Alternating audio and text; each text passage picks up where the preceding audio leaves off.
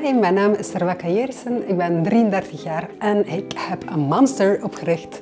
Mamster staat eigenlijk voor Hipster Moms. Ik wou dat je als je zwanger bent, je nog steeds mooi en hip en cool en sexy voelt en nog altijd leuke dingen kan dragen waar je um, je negen maanden goed voelt, maar ook daarna. Dus we hebben eigenlijk gekozen om Mamster op te starten als um, online verhaal.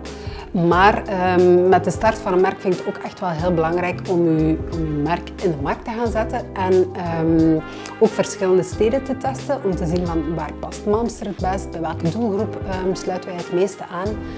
Uh, en daarbij zijn we eigenlijk bij de box uitgekomen, um, wat voor ons ideaal was, omdat wij ons niet direct wilden binden. En op die manier uh, konden we eigenlijk op een heel flexibele manier op een korte periode verschillende steden gaan uittesten, waarbij dat de box eigenlijk uh, letterlijk volledig um, kant-en-klaar pand klaar heeft. Uh, dus de boxen zijn aanwezig, licht is aanwezig, maar daarbij komend um, is ook alles qua papierwerk uh, ingevuld door hen. En op die manier voelt u toch ook wel extra ondersteund in uw um, onderneming. Ik denk dat de Kloosterstraat een hele leuke straat is.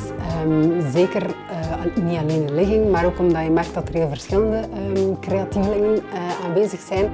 Voor de winkel zelf denk ik dat ook uh, een soort van reclamebord is. Het is echt wel voor mij eerder een doorzegstraat.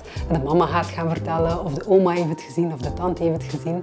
Dus op die manier is het ook wel leuk om op een andere manier eigenlijk um, onrechtstreeks contact te gaan hebben met je klanten.